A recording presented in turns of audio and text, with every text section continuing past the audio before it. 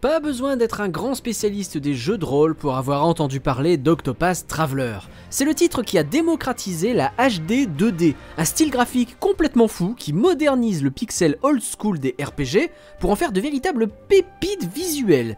Et bien ce cher Octopath Traveler, il revient dans un nouvel épisode qui sort le 24 février sur Switch, mais aussi sur PC, et pour la première fois sur les consoles de Sony. Le premier opus avait mis la barre tellement haut qu'on voyait mal comment sa suite allait réussir à l'égaler.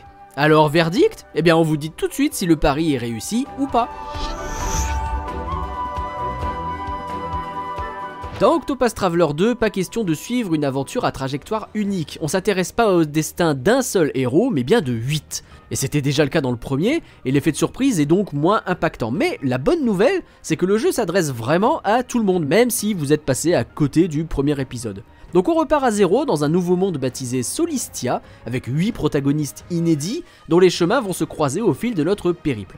Pas besoin de connaître quoi que ce soit du premier Octopath Traveler, le jeu peut être joué de manière totalement autonome, c'est pas une suite narrative. L'histoire démarre sur une feuille blanche et nous laisse choisir notre héros de départ avant de croiser la route des autres aventuriers. La grande originalité de la série, c'est de nous laisser totalement libres de découvrir ces histoires dans n'importe quel ordre. On peut les interrompre quand on veut pour partir explorer le monde avant de reprendre un chapitre déjà entamé. Y a que le niveau des ennemis qui nous empêche d'aller vraiment partout dès le début. Ça renforce l'impression d'assembler soi-même les pièces du puzzle narratif.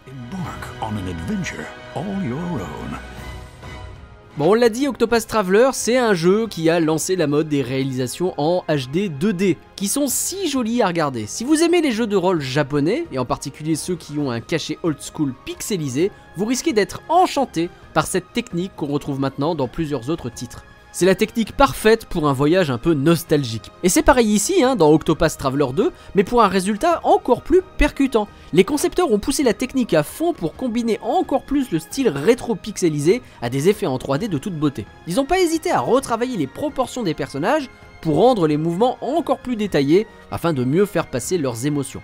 Et le résultat est clairement impressionnant, surtout quand on y ajoute les voix japonaises des personnages. Le jeu a même droit à une utilisation plus dynamique de la caméra pour optimiser au maximum l'expérience. Bon, ceux qui ont déjà joué au premier Octopath Traveler n'auront aucun mal à saisir rapidement les mécaniques du jeu, mais pour les nouveaux venus, des petites explications détaillées s'imposent. Bon, le concept est simple sur le papier, hein. on prend les ficelles du RPG au tour par tour et on creuse au maximum pour l'enrichir le plus possible. Dans un premier temps, il faut vraiment bien assimiler les talents propres à chaque classe de personnage, parce qu'ils se jouent tous de manière différente. Et ça concerne pas seulement les combats, mais aussi les compétences utilisables sur le terrain. L'épéiste par exemple peut manier l'épée et la lance, il va lui falloir s'entourer de compagnons maniant la hache, l'arc, la dague et le bâton pour espérer percer toutes les défenses adverses. Ou bien vous pouvez lui affecter un second job complémentaire pour étendre ses capacités. Et quand on sait que l'objectif c'est d'exploiter un maximum de points faibles chez les ennemis pour leur infliger de vrais gros dégâts, bah on comprend vite l'importance d'être bien équipé et bien entouré. Chaque adversaire présente donc des faiblesses par rapport à plusieurs types d'armes physiques, mais aussi différents types de magie. Si vous frappez au hasard en espérant trouver toutes les failles des ennemis, bah ça risque de prendre beaucoup de temps. Mais on peut faire appel à un érudit pour les démasquer plus rapidement avant de frapper là où ça fait mal.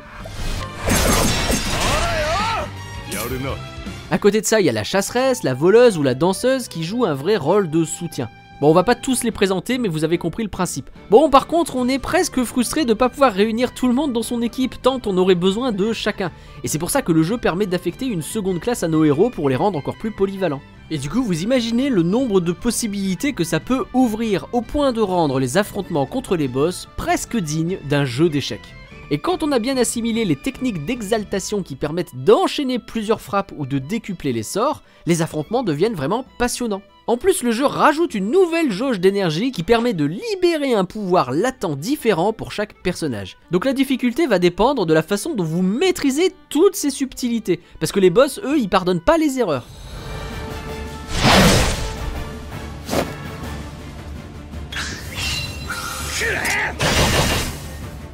Bon, si vous aimez les belles histoires, ça tombe bien, hein. Octopus Traveler a 8 scénarios différents à vous raconter, et les chapitres sont accessibles de manière totalement libre. On pouvait reprocher au premier jeu de ne pas vraiment relier toutes ces histoires entre elles. Le 2, lui, corrige un peu le tir en ajoutant des quêtes baptisées Destin croisés. Elles font intervenir deux membres de l'équipe et ça permet de les voir dialoguer et interagir entre eux. Bon, c'est totalement optionnel, mais c'est suffisamment développé pour s'étendre sur plusieurs actes. Une autre belle trouvaille, c'est le fait de pouvoir jongler à la volée entre le jour et la nuit. Ça a une influence considérable sur plusieurs éléments du jeu, mais c'est surtout visible à travers les aptitudes utilisables en dehors des combats. Les personnages n'ont pas accès aux mêmes compétences le jour et la nuit, donc c'est important de switcher régulièrement entre les deux. Par exemple, notre épéiste pourra tenter de soudoyer les PNJ la nuit, alors qu'il peut seulement les défier en journée. Certaines actions comportent un risque qui peut altérer notre réputation en ville. C'est donc un élément assez aléatoire qui comporte des avantages et des inconvénients. Donc à vous de voir au cas par cas si ça vaut le coup. Donc on trouve comme ça un très grand nombre de trouvailles sympas qui enrichissent l'univers du jeu. Et elles sont pas là juste pour faire joli.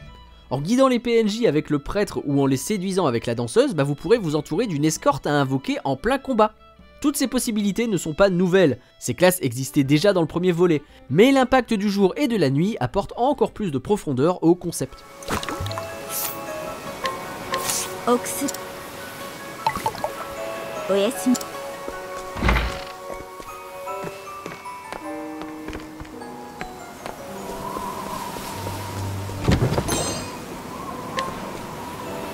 L'aventure commence avec un seul héros, mais il faut juste quelques heures avant de bénéficier d'une équipe de 4 personnages actifs. Pourtant, même une fois les 8 personnages recrutés, l'histoire ne fait que commencer. Les chapitres sont éparpillés aux quatre coins de la carte, et le jeu met l'accent sur les voies fluviales, à emprunter pour explorer les recoins les mieux cachés de la map. Octopath Traveler 2 est vraiment truffé de secrets, de quêtes optionnelles et surtout de guildes à ne pas manquer pour obtenir de nouveaux certificats de classe.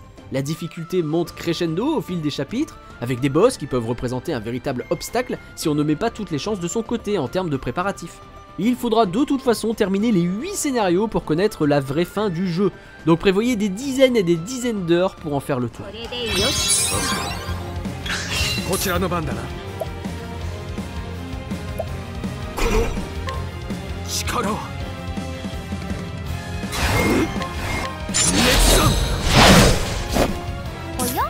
Le jeu a d'ailleurs la chance de profiter d'une bande-son aussi envoûtante que le premier volet, puisque c'est toujours Yasunori Nishiki qui signe les mélodies. Petit détail qui ne trompe pas, quand vous passez du jour à la nuit ou l'inverse, la musique évolue pour s'adapter à l'ambiance du moment.